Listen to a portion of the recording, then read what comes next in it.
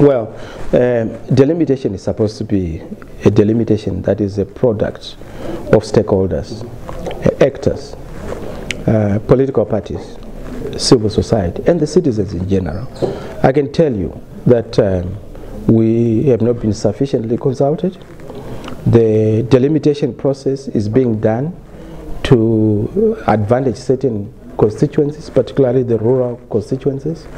I can tell you on record that we, uh, as a movement, forwarded to ZEC our own proposals through the various uh, legally um, permitted avenues in the local authorities to say certain of the urban uh, authorities had to have more wards because the population, the voter population has increased. That was disregarded by uh, Minister Local Government and of course by ZEC. So delimitation is a big issue. We are worried.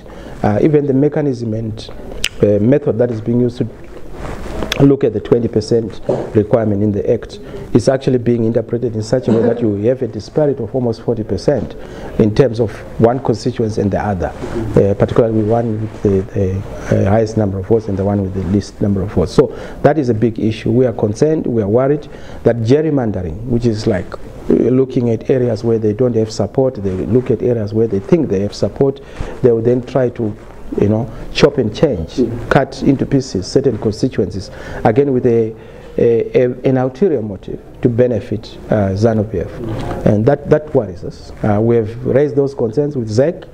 Uh, we have raised those concerns with all the stakeholders. Uh, we still await uh, their feedback on this, uh, but we're really concerned.